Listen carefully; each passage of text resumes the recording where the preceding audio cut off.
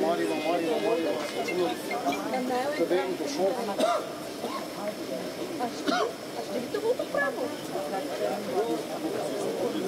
Добър вечер. Тежък инцидент в София. Таксиметров шофьор е починал след нанесен му побой.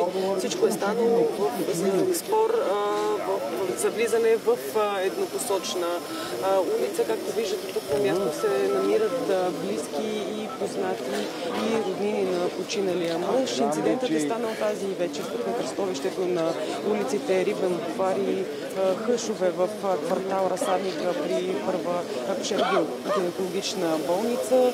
По първоначална информация мъжът е влязъл в конфликт с водач на друг автомобил. Стигнало се до сбиване, след което таксиметровият шофьор е починал.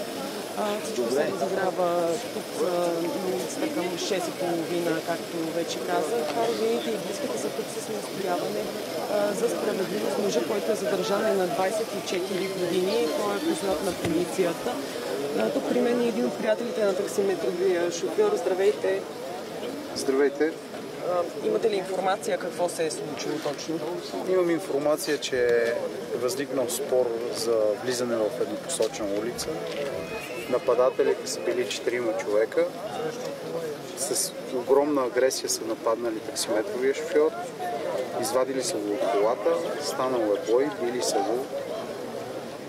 Нанасили са му удари, докато е лежал долу на земята. Той по някакъв начин се е изправил, успял е да звънне на брат си. Брат му е дошъл, но в момента, в който е дошъл брат му, той се е свекал долу на земята и е починал. И а, тук идва въпроса за това колко е нараснала агресията последната година и половина на пътя. Защото това е, това е ежедневие на повечето шофьори в София. Има много агресивни млади момчета, които не, не се замислят какво могат да направят. Момчето е починалия баща на три деца. Оставила семейство с три малки момичета. Познавам го като добро момче, винаги е бил отзивчив, винаги е бил добър. И другия въпрос, който възниква е 3 часа и половина, път му вече 4 часа близо, лежи тук долу на земята. И още не са го прибрали, още не е дошла съдебна медицина. От колко години всъщност е таксиметров водач? Аз доколкото знам, последните 10 години е работил това. Откъде смятате е дошъл конфликта? Вие го познавате, смятате. Той не е по никакъв начин не е бил агресивно момче. Много добро момче. Тук повече от 100 човека могат да ви засвидетелстват това, че той наистина е бил добър човек. Той ако не е бил добър човек, ние днес нямаше да сме тук. Има изключително много хора, които са се събрали. А, тук ще помоля и оператора да покаже всъщност как, за какво настояват. Ние настояваме единствено и само за справедливост. За работеща прокуратура, за работещ съд и за работеща полиция. И да не се укриват лицата. И да не се укриват лицата. Разбира се. Е, това искаме само. Нищо повече. Само да не се укриват лицата. Кажете и вие, с какви настоявания сте тук? Настояване е да има справедливост, разбира се. Защото това невинно същество не е нормално. Плюс това виси 4 часа долу на земята, което невинно са го пребили до такава агресия. Просто не е нормално. Е така предишния случай в ВМА болница. И този случай се укривал. Следа няма. Институции на България няма. До кога? До кога? Семейно положение, три дечица. Кой ще му храни децата?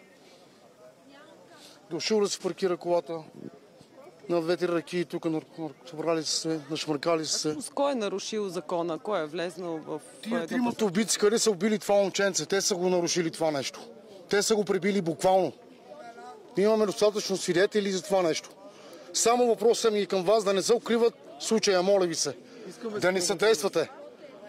Много случаи така се укриват и просто е така се измиват ръцете и все едно, че не е било. Три личици има това момче. Но никой не е се грешил, разбирате ли ме? Само да не се съдейства, това искам от вас.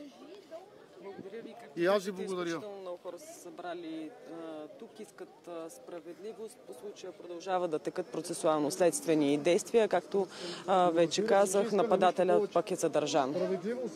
Защото тия неща се укриват много дълго. Случайно време я помниш същата работа.